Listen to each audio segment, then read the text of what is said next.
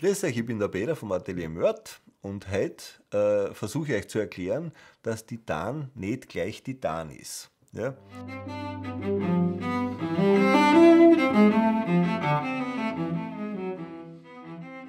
Also, es gibt, sagen wir mal, ungefähr 20 Titanlegierungen oder Titansorten am Markt, die angeboten werden, wobei ein paar reines Titan ist und ein paar sind eben legiert. Legieren tun die Leute deswegen das Titan, damit es zum Beispiel verformbarer wird, damit man Gewinde walzen kann, damit man ein Rohr draus machen kann. Die Hauptlegierung, die wir verwenden, das ist eine sogenannte Grad 5 Legierung und äh, das ist nichts anderes wie, dass 90 Teile äh, Titan sind, 6 Teile Aluminium und 4 Teile sind Vanadium. Das Ganze äh, gibt eine relativ also eine richtig harte Legierung. Ja. Es gibt eine leichtere Legierung, weil sozusagen das Aluminium mit der Dichte 2,7 im Vergleich zum Titan 4,5 oder 4,51 oder was das hat. Äh, es wird insgesamt ein bisschen leichter, das Material, aber gleichzeitig viel härter, das heißt, es schwingt viel besser. Und dann muss man noch darauf hinweisen, dass sie da Leute mit dieser Titan-Innovation Anhängern probieren, indem sie einfach Seiten, sage ich einmal, als eine Vision von Titan bezeichnen. Ich habe sogar schon auf einer Plastikhaarbürsten das Wort Titan oben gelesen. Da muss ich, das verstehe ich sowieso nicht mehr. Gut, sie war grau. Ja. Dann gibt es eben Aluminiumlegierungen, die dann einen Handelsnamen haben von Titanal, wobei das als kornfeinendes Element drinnen ist und auf, auf das Aluminium selber überhaupt keinen Einfluss mehr in Wirklichkeit nehmen. Nicht? Also, man darf sich nicht verarschen lassen, indem man sozusagen, nur wenn man wo Titan hört, glaubt, dass das auch schon Titan ist. Da haben wir sozusagen also von Kollegen aus Fernost haben wir so Feinstimmen und so Sachen zerlegen angefangen. Die verwenden sowieso alles Mögliche an Titanlegierungen äh, bauen das dann zusammen, verkleben Sachen. Also so ein Klump habe ich überhaupt noch nie gesehen. Von den Gewindetoleranzen, dass sowas funktioniert, ähm, von dem brauche ich gar nicht rein anfangen. Aber vielleicht machen wir uns den Spaß und machen da noch ein genaueres Video zu sozusagen Mitbewerbsprodukten. Ja?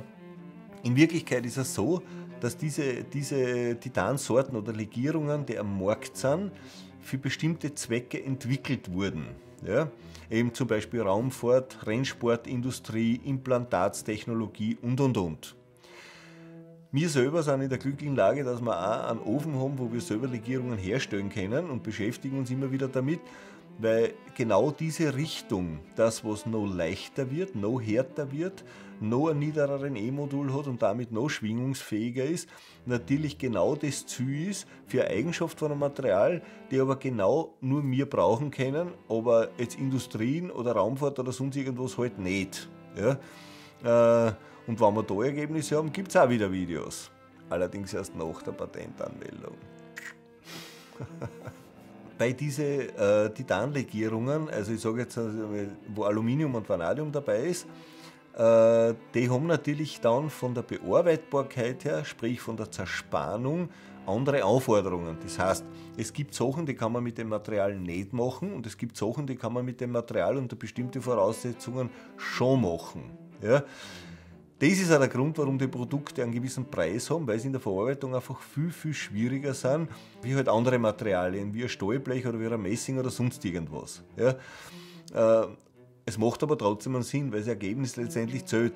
Und wenn man heute, sage ich mal ganz einfach, eine gewisse, eine gewisse Investition in eine gute Montage gibt, dann ist es halt so, dass das Produkt ewig hält, das kann nicht einmal kaputt werden. Ja?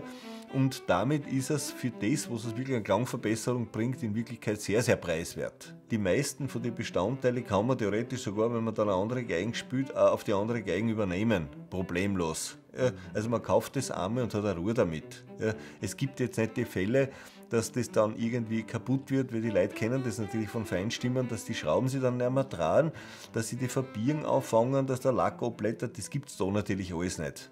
Und es ist natürlich dann die Kombination zwischen einem sehr hochwertigen Buchsbaum, einem sehr hochwertigen Ebenholz mit diesen Titanbestandteile, der wirklich diesen satten, aber sehr tragfähigen und modulationsfähigen und obertonreichen, gute Klangfarbe beinhaltenden italienischen Ton produzieren. Ja, was man dann bei den Instrumenten, wenn man spielt, sofort sieht und hört und spürt.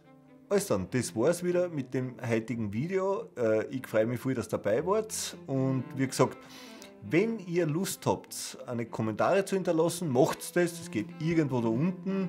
Das mit der Glocke, mit Button, mit Liken und was weiß ich, tut's was wollt. Ich verstehe davon eh nichts. Ja. Ähm, ja, und ich freue mich auf, wenn wir uns das nächste Mal wieder sehen. Viert euch. Passt.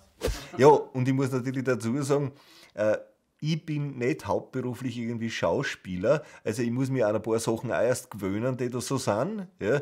Ein Geheimnis, das es da in der Werkstatt wirklich gibt, kann ich heute schon lüften. Ich werde drauf kommen, dass mein Bart einmal ein bisschen länger und einmal ein bisschen kürzer ist. Es liegt daran einfach, weil ich vier Stunden in der Maske gesessen bin.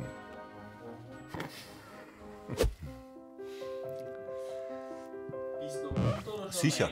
Nein, nein, Okay. geht schon noch. Ja, der, der mich da quält, ist mein Bur. Gut. Das ist ein Beitrag jetzt für Nockerbatzel. Trinke ich muss noch warten, bis der Bur austrunken hat hinten, weil der raschelt da herum. Ich bin schon froh, dass er keine Chips isst.